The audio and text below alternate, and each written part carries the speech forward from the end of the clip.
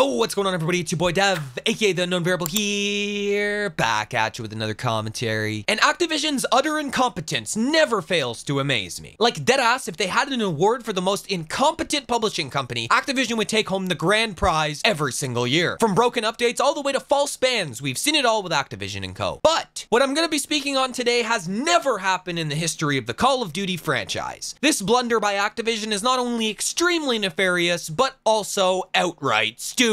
I'm also going to be going over some more news regarding Modern Warfare 3 maps and the zombies mode in Modern Warfare 3. So sit back, relax, and get ready to be shocked, because you quite literally can't make this shit up. Now, with that intro out of the way, firstly, I'll be speaking on the in-game screenshots we got a few days ago showing off how the OG Modern Warfare 2 2009 map remasters are going to look in Modern Warfare 3. If you look at this Charlie Intel tweet, he says, Breaking! New images showcase Modern Warfare 2 2009 maps remastered for Modern Warfare 3 multiplayer. Now, if you look at the screenshots, you'll see some very good looking versions of Quarry, Scrapyard, Afghan, and Terminal. These maps look really good from a graphical standpoint, and that's to be expected with the Modern Warfare series. Like, I've never had an issue with the Modern Warfare series from a graphics standpoint. Now, obviously, we can't tell how these maps are gonna play in Modern Warfare 3, but if remasters in any of the new COD games have taught me anything, it's that the devs will find a way to royally screw these maps up somehow. My guess is that they'll be adding a plethora of doors and kill the flow of the map, but that's yet to be seen, and I'll be holding back my criticisms until I see gameplay on these maps. All in all, pretty incompetent on Activision's part by recycling some more content, but hey, at this point, this is the least of our worries as a community. We also received some information today regarding zombies mode in Modern Warfare 2. Yes, that's right, I said Modern Warfare 2. And if you look at this tweet here from Warzone TFN, he said, Rumor, zombies could be coming in Season 6 in some capacity. It could have something to do with the Modern Warfare 3 reveal on October 5th, but we will update when there is some more information available. So if I was a guessing man, I'd kind of bet my money on the fact that this leak regarding zombies in Modern Warfare 2 has something to do with Warzone. Based on their current trend of advertising their next title in Warzone, I believe that this will be some sort of zombies reveal in But only time will tell what the rumor actually entails. I could see them doing some sort of, you know, zombies reveal event within Warzone. So like I said, we'll see how this rumor really pans out. Rumors aside though, this is where the video takes a very greedy and dark turn. This part of the video is to be a little bit more animated for me because quite frankly, your boy needs to vent about the absolute incompetence on full display for every single one of you guys to see. Now on any given day, Activision and co always seem to find a way to dig a deeper hole in the abyss of bullshit. But these next two points have probably got to be the greediest and most incompetent I've ever seen Activision in the entire life cycle of Modern Warfare 2, and that is really saying something, guys. Now, I'm sure you've all heard the saying, third time's a charm. Well, this should be Activision's motto because believe it or not, according to the leaks, there will be a new Prime Gaming bundle this week. Just hope nobody bought YOLO Pack as it's more than likely that.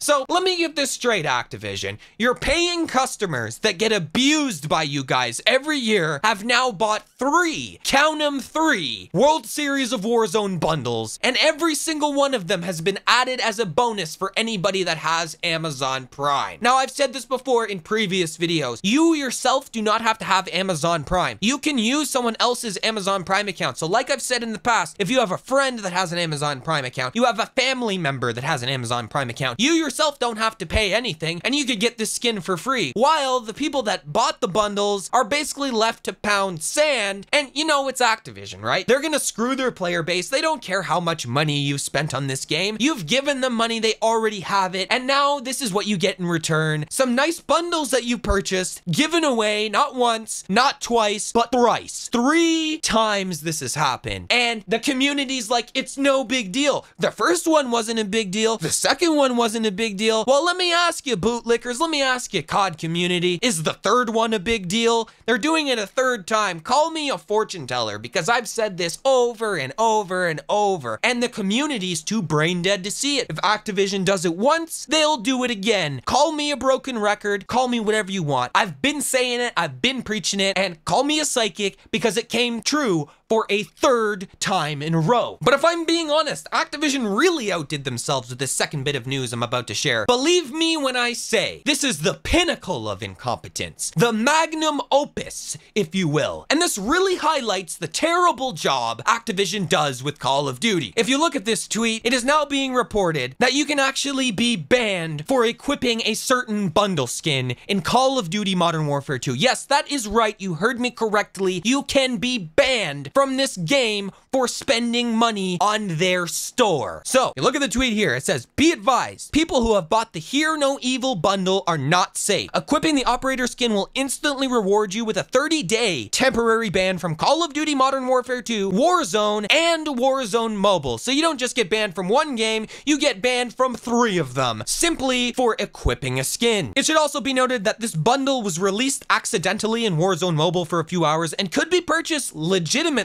by using 2,400 COD points. After the 30 days, the ban will repeat over and over again if you're still equipping the skin. So let me get this straight. You guys fucked up by putting this in the store. You messed up by putting it in the store. People spent real money and didn't cheat the game or anything to get these. You just messed up, put it in the store, and people purchased it because they thought it was something that was available to purchase. And now it wasn't supposed to be in the store. So what do you guys do? You ban people that equip it. This is peak incompetence. This is peak greed. This is a peak slap in the face to the entire Call of Duty community or any singular individual that has spent a cent on microtransactions in this game. And this is why I'm so against them because they could do stupid shit like this. And I know a lot of people are going to be defending Activision in the comment section. They always do. I'm never surprised when I see these people come around my comment section. They're going to defend Activision. You are going to see these people in the comments that are so blinded by their love for this game that they don't see that they're getting absolutely hammered right up the every single year, every single season. And people like to tell me that Modern Warfare 3 is going to get better. This game series is a cesspool of garbage. They're banning innocent players. They've done nothing but abuse their player base, and they constantly show a pattern of incompetence and pure greed. But that's just my two cents. Let me know how you guys feel about this entire situation in the comment section below. If you enjoyed the video, make sure to like the video. If you didn't enjoy the video, make sure to smash the absolute shit out of that dislike button. Subscribe if you're new to the channel, and turn that notification bell on so you never miss when I upload a video. And I catch everybody in the next one.